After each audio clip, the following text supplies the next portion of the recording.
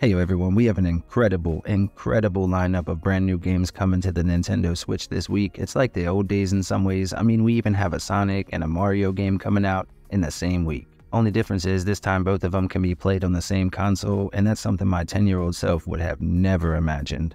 Now, we don't just have big AAA games to go over, we also have 8 brand new indie games that I want to share with you as well. If you enjoyed the video, please drop a like, and with that, we'll go ahead and get started with Kingdom 80s. This is a brand new game from a long running series. This time they went with a new story driven approach that takes place back in the days of summer camps, bike riding, and Saturday morning cartoons. A mysterious force has taken over the neighborhood, and you play as a camp counselor called the Leader. You can recruit other kids and assign them different roles to help defend your home. And while I think the game is okay, I don't quite think it lives up to the name Kingdom, and the lack of replay value does hurt it quite a bit, as does the lack of multiplayer support. However, if you're interested in Kingdom 80s, you can pick it up for just $11.99 here on October 16th. The download comes in at about 4 gigs. Next, we have Sonic Superstars, which is an all new spin on the classic formula that made Sonic so popular and a beloved character for so many kids.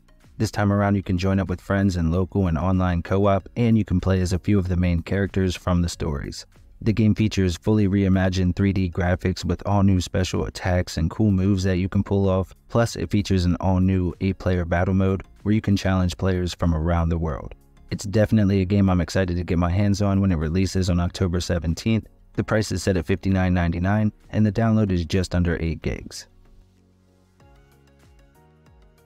Wizard with a Gun is an all new survival sim type game from Devolver Digital. They do great work, and this time around we have a game that offers two players potentially unlimited hours of fun. You, of course, have to collect resources, craft different recipes, and fight off dangerous creatures that you stumble across. The world is massive, though, and there are several different biomes to explore.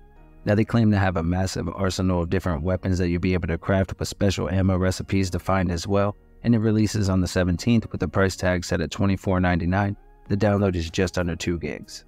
Now, I do want to mention that the devs have been discussing a possible delay on Twitter in order to ensure a smooth launch for the game. We'll have to see what happens in the next few days. Skull Island Rise of Kong is a third person action adventure title with a stylistic art design, and it follows Kong on a quest to avenge the death of his parents. The game sort of acts as an origin story, so to speak, and along the way you'll have to battle through tons of ferocious beasts and of course take out Gaw's minions, and you can do this with devastating combos. You even have a full rage mode that you can use to unleash maximum damage. The combat and exploration, while they look pretty fun, I do worry about the performance here on the console, and it's not cheap either. You can pick it up on the 17th of October. It's on sale for just $31.99 until launch day. Now the normal price will be $39.99 and the download again is just under 2 gigs. Up next, we have Vlad Circus Descend into Madness, which is a story driven puzzle game with a dark story about a group of circus folk who come back together several years after a tragic fire closed them down. It takes place back in the 1920s and follows a recovering clown as he struggles to survive through this twisted tale. You'll have to search for items and solve puzzles in order to progress through, and there's definitely a lot of backtracking.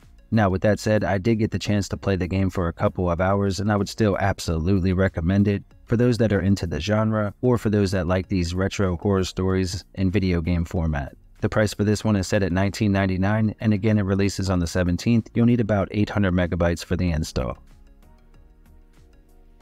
Hellboy Web of Wyrd is an over the shoulder 3D adventure game, again with a very unique graphical style. It's almost like a comic book in motion, and it follows Hellboy as he searches for a fellow agent that's gone missing. Now, while the exploration and cool environments are definitely something to look forward to, for me the combat is what I'm most excited for. It requires timing with dodges and parries, and you'll have to learn enemy patterns as you look for an opening to make your attack. Now, I really hope the game can run well here on the console. It's coming to the Switch on the 18th with a download around 2.4 gigs, and the price is set at $24.99. Next, we have Gargoyles Remastered, which takes the original classic from the 90s and then brings it to modern audiences with all new graphics and animations, complete with sound effects and sound bites from the original animated series. Now, what's even cooler though is that as you play through, you can alternate between the all new look and the original 16 bit style whenever you want, and the gameplay itself feels true to the original, with a few modern day enhancements like Game Rewind and a few others. Now, just like with the graphics, you can alternate soundtracks between new and old as well, and this is another game I'm sure many of you are looking forward to. I know I can't wait to get my hands on it when it releases on the 19th here on the Switch. The price is set at $14.99 and the download is just under half a gig. Next, we have Bish Bash Bots, which is a new multiplayer game that mixes tower defense and all out brawling action as you team up in either local or online co op to save the world.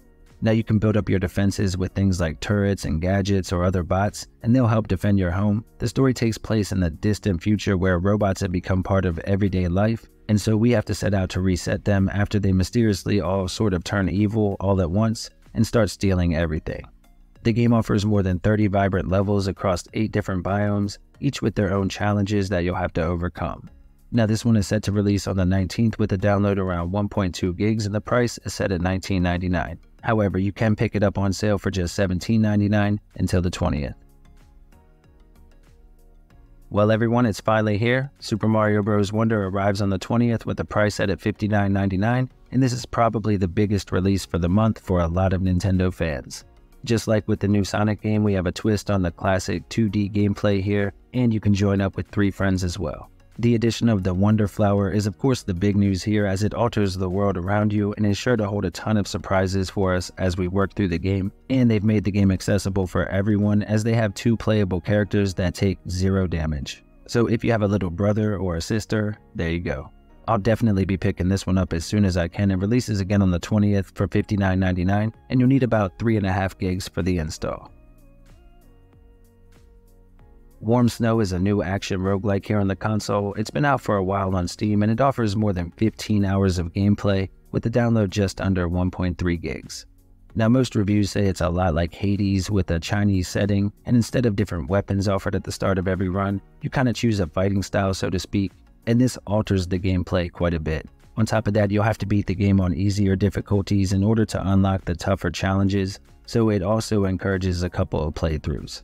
The combat looks fast and fun, and the game releases on October 20th. The price is set at $19.99. Be prepared for a tough game if you plan to pick it up. Alright everyone, that wraps up the video, but let me know down below if you plan to pick any of these up. It's always nice to bring new games to you all here in the community. As an independent creator not backed by a big company or a massive team, every one of you that gives me a few minutes of your day is truly appreciated. Feel free to jump into the convo down below and of course subscribe if this was your first time here. Thanks to the channel members and the patrons. With that though, I'll say thanks. See you on the next one here at Good Talk HQ.